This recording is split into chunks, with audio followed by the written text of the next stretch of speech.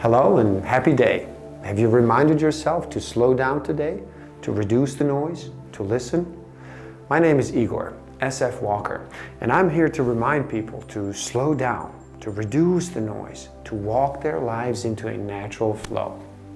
Welcome back to the Book of the Week series. Every week, as I read another amazing title, I share it with the world. So today, we look at 150 healthiest foods on earth by Jonny Bowden. How well do you know the food you eat? What about the food your food eats? Where does your food come from? How is it produced?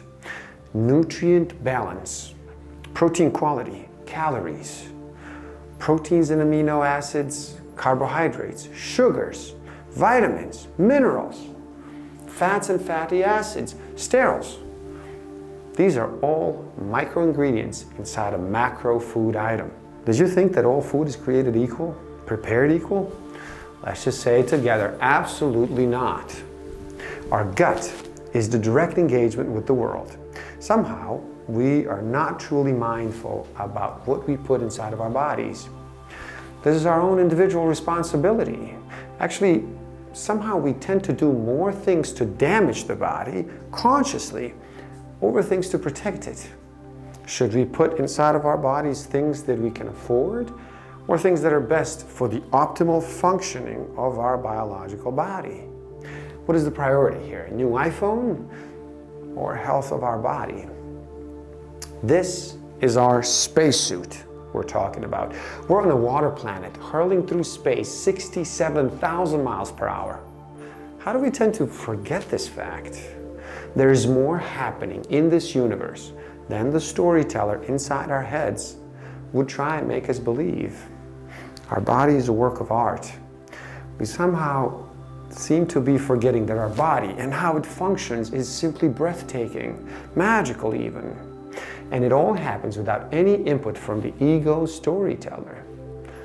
Why is the focus not more on how does this spacesuit function instead of what will people say about how the spacesuit looks? What is our common language here? Is it science and numbers? Well, let's look at numbers. They never lie.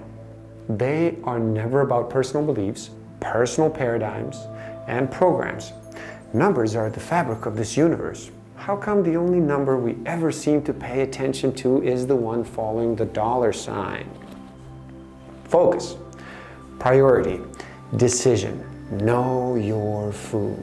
Don't believe anything I or anyone else tells you about something as individual and personal as nutrition, diet, and health.